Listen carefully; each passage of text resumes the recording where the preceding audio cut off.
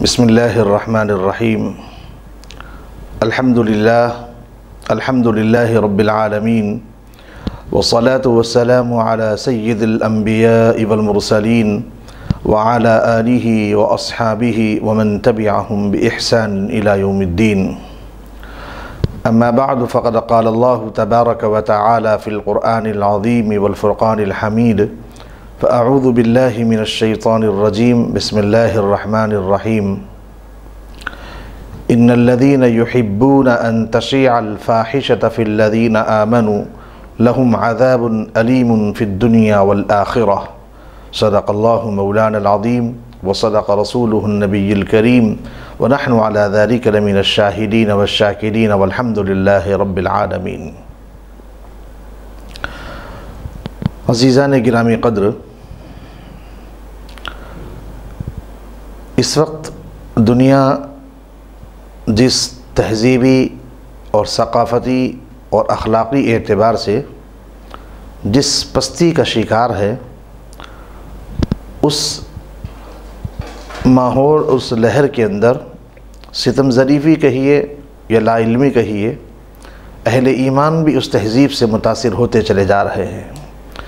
हालाँकि अहल ईमान को मालूम होना चाहिए हमारा जो ईमान है, हमारा जो मज़हब है, हमारा जो दीन है, वो दीन एक कामिल और मुकम्मल दीन है। हमें अपने दीन पर अमल करने के लिए, अपनी ज़िंदगी गुजारने के लिए न किसी तहज़ीब की नक्काली की ज़रूरत है, न किसी तमद्दन की नकल करने की हमें ज़रूरत है। हमारा दीन कामिल और मुकम्मल है। ख़ातमुन्नबीन जनाब महमद रसूलुल्लाह सल्लल्लाहु अलैहि वसल्लम के ज़रिए से अल्लाह रब्बुल ने कुरान मजीद में इरशाद फरमाया, अलयौम अकमलतु लकुम दीनकुम व अतममतु अलैकुम निअमती व रदीतु लकुमुल इस्लाम दीना। कि अल्लाह ने दीन इस्लाम को मुकम्मल किया और अल्लाह इस दीन इस्लाम से राज़ी भी है। व लकुमुल इस्लाम दीना, अल्लाह दीन इस्लाम से राज़ी भी हैं। अल्लाह के नबी सल्लल्लाहु अलैहि वसल्लम ने हमारे इस मज़हब में, हमारे इस दीन में इंसानियत को हर उस चीज़ की तालीम दी है जिसका हम तसव्वुर भी नहीं कर सकते हैं।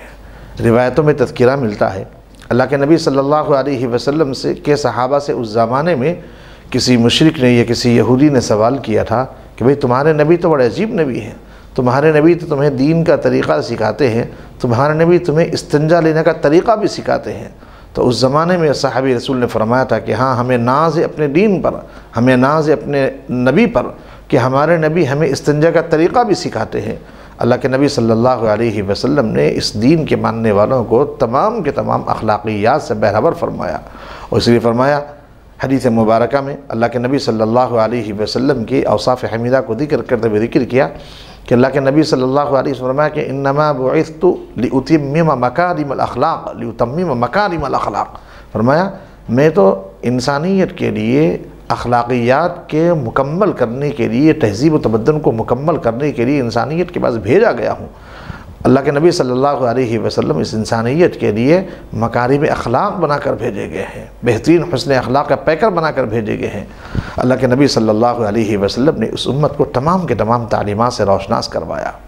कुरान मजीद की जो आयत मुबारक खुतबे के शुरू में मैंने भी पढ़ी है, जिसमें अल्लाह रब्बुल आलमीन ने इरशाद फरमाया है कि इन्नल्लज़ीन युहिब्बून अन तशीअल फ़ाहिशा फ़िल्लज़ीन आमनू लहुम अज़ाबुन अलीमुन फ़िद्दुनिया वल आखिरा अल्लाह रब्बुल आलमीन फरमाते हैं ईमान वाले बंदों में से जो लोग इन्नल्लज़ीन युहिब्बून अन तशीअल फ़ाहिशा ईमान वाले बंदों में से जो लोग ये चाहते हैं या ईमान वाले बंदों में से जो लोग इस बात को पसंद करते हैं कि अन तशीअल फ़ाहिशा फ़हश दुनिया के अंदर बेतहजीबी दुनिया के अंदर, बेपर्दगी दुनिया के अंदर, वो आम हो, वो फैले, इसका वो पसंद करते हैं। युहिब्बून अन तशी अलफ़ाहिशा फ़हश को, बेहयाई को, बेतहजीबी को, इंसानियत से गिरे हुए अखलाक को फैलना, इसका फूलना पसंद करते हैं। तो फरमाया कि ऐसे लोगों के लिए अल्लाह ने कुरान मजीद की आयत मुबारक में ज़िक्र किया कि लहुम आदाब अलीम दुनिया वल आखिरा। ऐसे लोगों के लिए अल्लाह ने दुनिया में भी और आखिरत में भी बड़ा दर्दनाक आज़ाब रखा है। बड़े सख्त लब लहजे में फ़रमाया, हमारा इस्लाम तहजीब तमदन की तालीम देता है। हमारा इस्लाम हया और पाकदामनी की तालीम देता है। हदीस मुबारक में अल्लाह के नबी सल्लल्लाहु अलैहि वसल्लम ने इरशाद फरमाया कि अलहया शबत ईमान। हया जो है,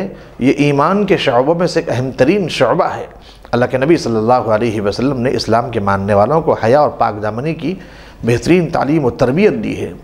बस बदकस्मती कहिए या सूए किस्मत कहिए, ज़माने की बेतहजीबी की, ज़माने की बेहयाई की जो लहरें चल रही हैं, मगरिब की जानब से जो लहरें चलाई जा रही हैं, मगरबी माशरा जिन बेतहजीबी का जो शिकार है, मगरबी माशरा जिन बेहयाई का शिकार है, वो लहरें आहिस्ता आहिस्ता वहाँ से बदलते हुए मशरक़ वस्ती में पहुँच रही है, मशरक़ में भी पहुँच रही है, हमारा मुल्क भी उससे मुतासर हो रहा है।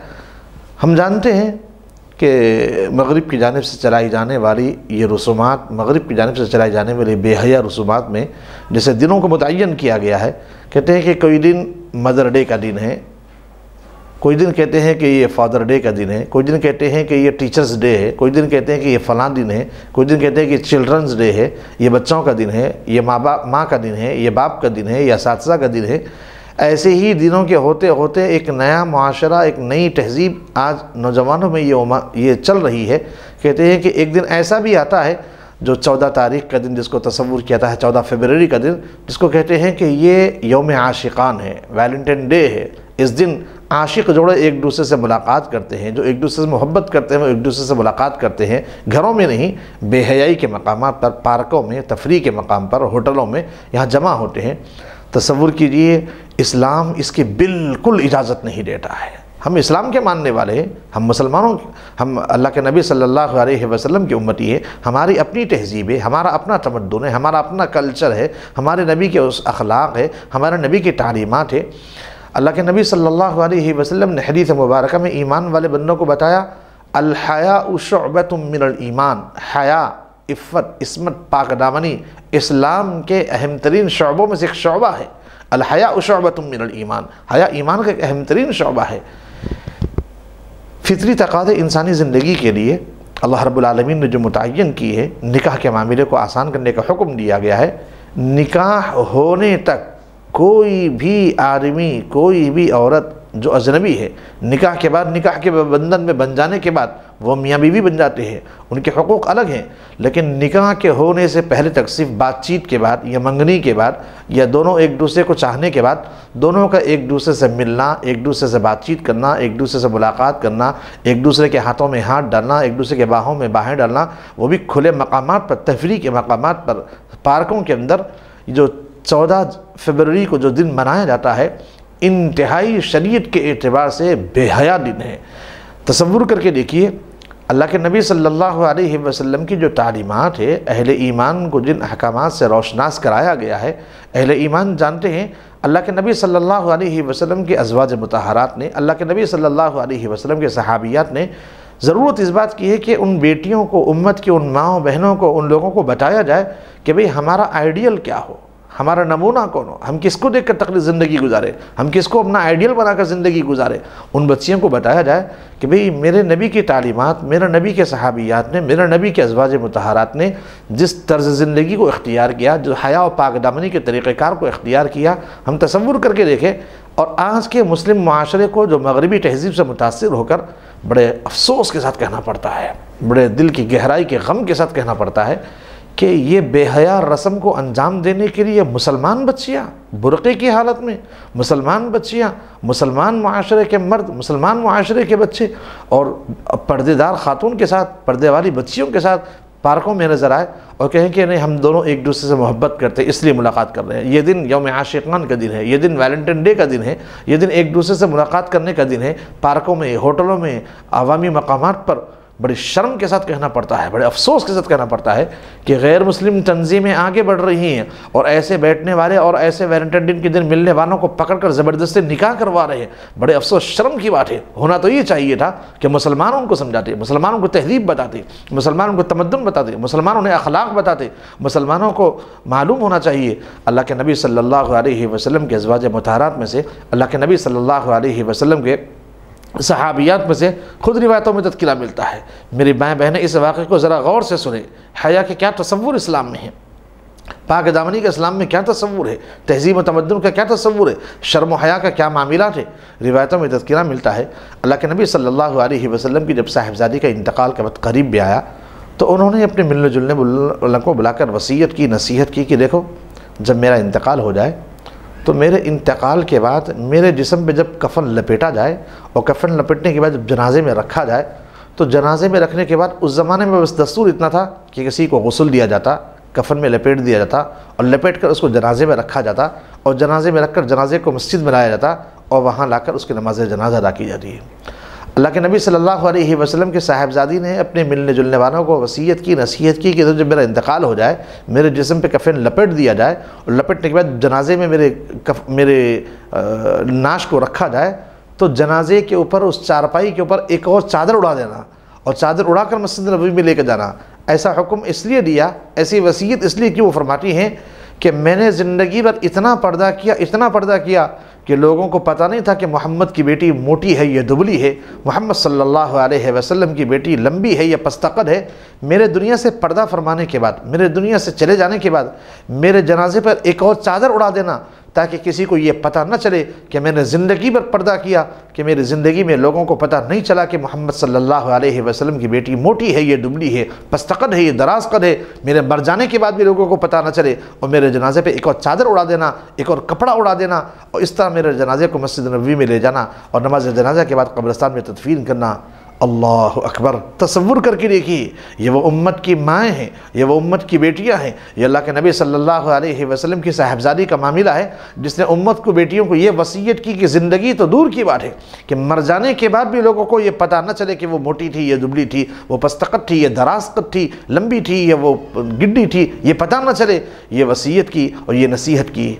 आज ज़रा गौर करके देखें, ये इसी उम्मत की माँ, इसी उम्मत की बेटियाँ हैं, ये इसी उम्मत के अल्लाह के नबी सल्लल्लाहु अलैहि वसल्लम की उम्मती हैं, जिनको आइडियल और नमूना सहाबा व सहाबियात की ज़ात गिरामी को बनाया गया था, जिनको अपने असलाफ की और अपने आबा व अजदाद की इन नकलों को उतारना चाहिए था।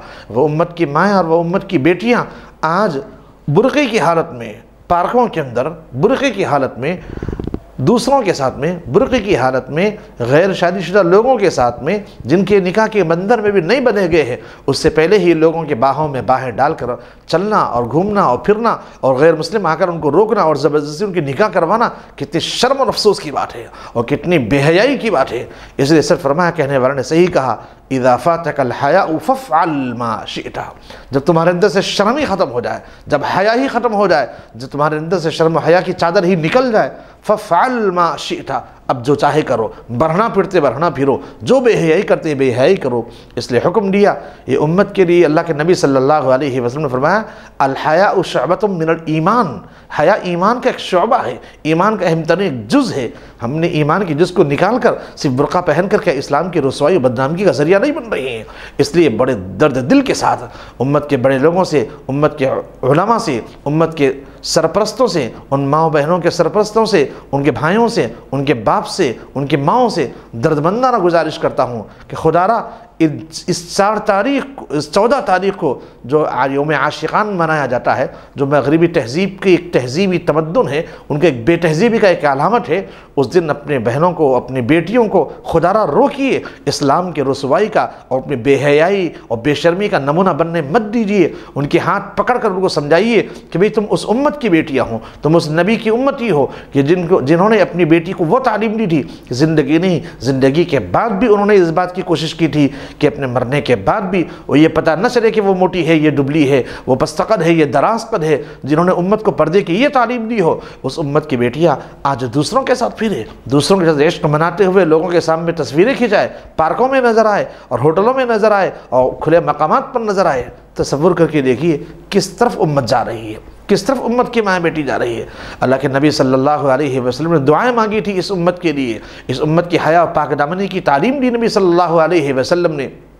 इसलिए हम गौर करके देखें, हमारा माशरा किधर जा रहा है? किस तरफ़ हमारा माशरा जा रहा है?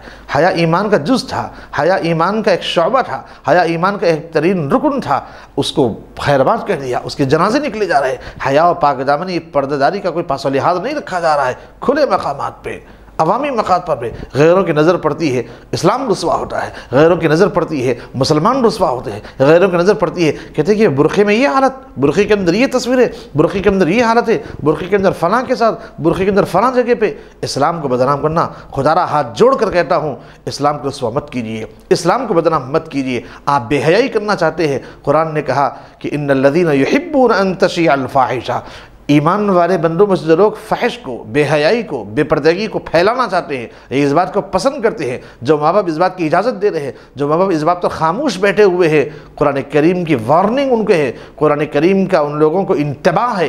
अल्लाह फरमाते हैं इन लदीन युहिब्बून तशीफ़ाहिशा फ़िल्लदीन आमनु लहुम आज़ाबुन अलीमुन फ़िद्दुनिया वल आखिरा।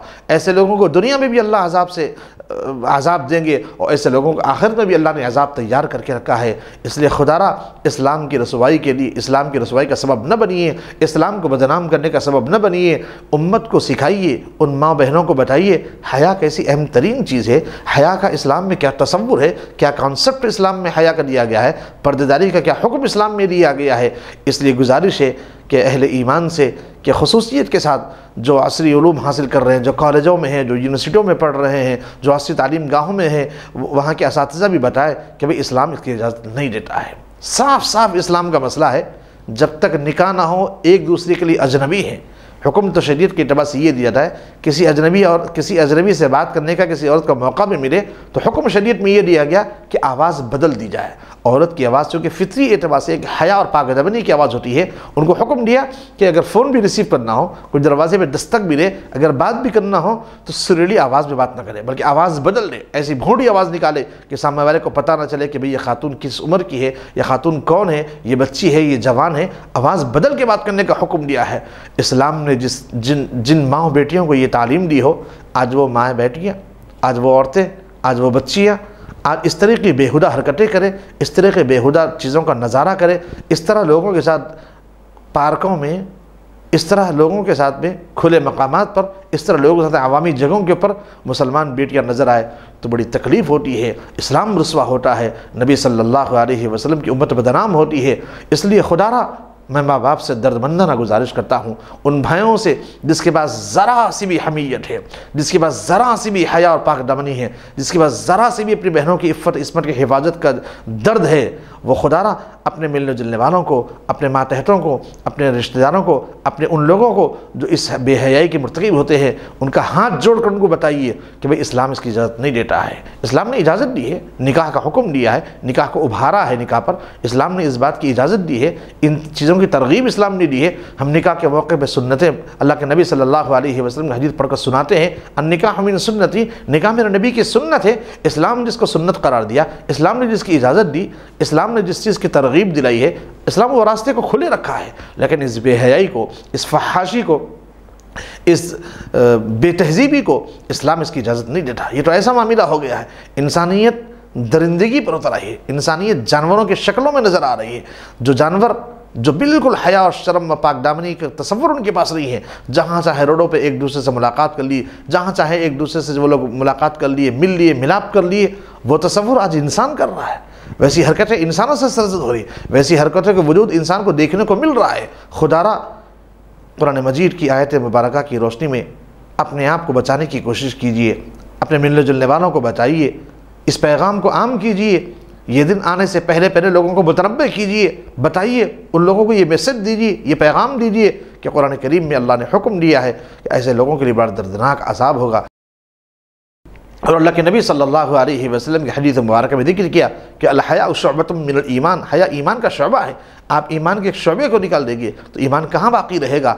ईमान के इस तस्वुर को, इस कंसेप्ट को और इस्लाम के नज़रिए की हिफाजत कीजिए। और सच फरमाया था अरबी मकूल में ज़िक्र किया गया था इदाफ़ा तकल हया फ़फ़ाशरा जब तुम्हारे पास से हरम ही शर, शर्म ही निकल जाए हया ही निकल जाए और कहते भी उर्दू ज़बान में मुहावरा भी है कहते हैं कि बेशरम को क्या शर्म है? कि जब बेशर्मी की इंतहा कर दी हया पाकदमनी को निकाल के फेंक दिया अब जो चाहे कारनामे अंजाम दो।